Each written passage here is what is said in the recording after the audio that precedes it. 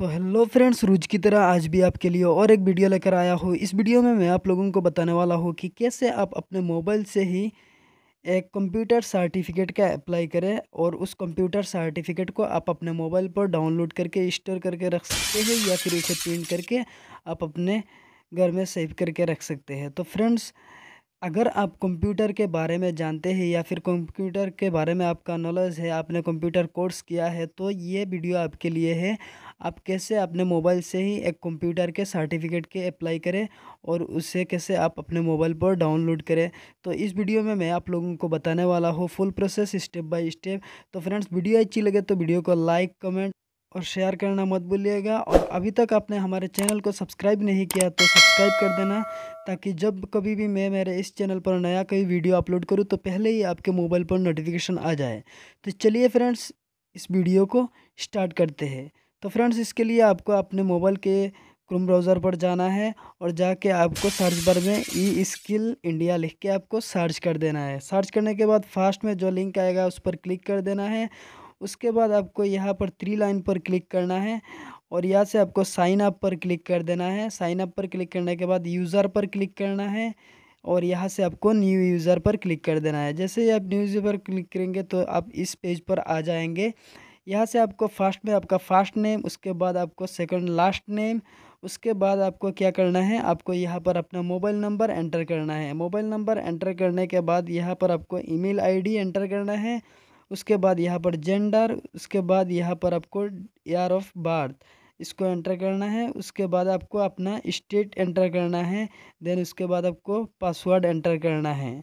उसके बाद आपको I expect terms and condition of N S D C इस पर आपको क्लिक कर देना है। तो यहाँ पर आपको मोबाइल नंबर एंटर करने के बाद वेरीफाई का ऑप्शन मिलेगा। यहाँ पर आपको वेरीफाई पर क्लिक कर देना है। जैसे ही वेरीफाई पर क्लिक करेंगे तो आप, आपके मोबाइल पर एक ओटीपी आएगा।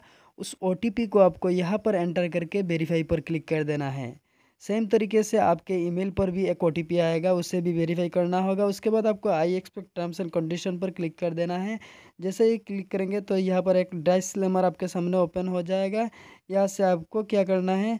एक्सपेक्ट एंड सबमिट पर क्लिक कर देना है। एक्सपेक्ट एंड सबमिट पर क्लिक करने के बाद आपका जो रजिस्ट्रेशन है वो सक्सेसफुली हो जाएगा। उसके बाद आपको क्या करना है? उसके बाद आपको नीचे जाना है और यहाँ पर आपको ईमेल आईडी और पासवर्ड जो डाला है वो एंटर करके आपको I am not a robot पर क्लिक करके लॉगिन कर देना है। जैसे ही लॉगिन कर देंगे, तब आप इस पेज पर आ जाएँगे। यहाँ से आपको अपना कोर्स सिलेक्ट कर लेना है। तो मैं यहाँ से डोमेस्टिक डाटा एंट्री ऑपरेटर इसको सिलेक्ट कर लेता हूँ।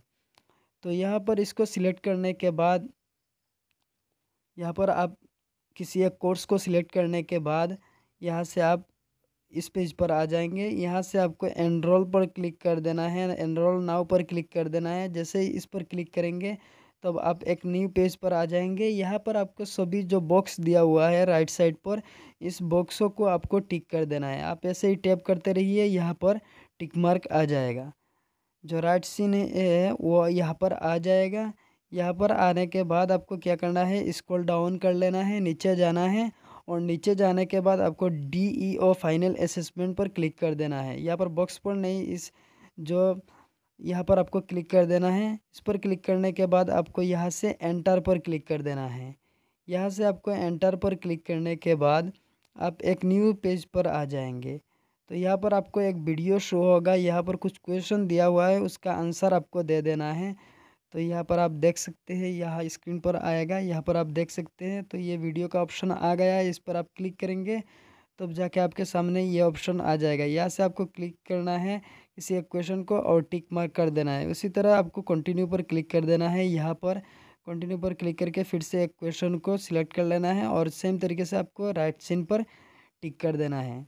जैसे ही आप इस पर टैप करेंगे तो दो तीन क्वेश्चन देने के बाद आपको बैक हो जाना है। यहाँ पर ऑटोमेटिकली राइट चिन जो है वो आ जाएगा। यहाँ पर आपको सर्टिफिकेट पर जैसे ही क्लिक करेंगे, उसके बाद आपको यहाँ से स्क्रॉल डाउन करना है और व्यू सर्टिफिकेट पर क्लिक कर देना है। जैसे ही आप व्यू सर्टिफिकेट पर क्लिक करेंगे, नीचे आपको डाउनलोड का ऑप्शन शो होगा। यहाँ से आपको डाउनलोड पर क्लिक कर देना है। उसके बाद यहाँ से मैं फ़ाइल मैनेजर पर जाके आपको दिखा देता हूँ। तो ये देख लीजिए, मेरा जो सर्टिफिकेट मैंने अप्लाई किया था वो डाउनलोड हो चुका है। यहाँ पर enrolment ID date of issue उसके बाद नीचे आपको जो सिग्नेचर किया हुआ है, वो मिलेगा। यहाँ पर क्यूआर कोड भी आपको दिखने को मिलेगा। तो फ्रेंड्स आई होप वीडियो आप लोगों को अच्छी लगी। वीडियो अच्छी लगी तो चैनल को सब्सक्राइब करके पास वाले बेल आइकन को भी दबा देना, ताकि आने वाले जितने भी वीडियो में, मेरे इस चैनल पर अपलोड करूँ, सभी वीडियो का नोटिफिकेशन आप तक पहुँच जाए।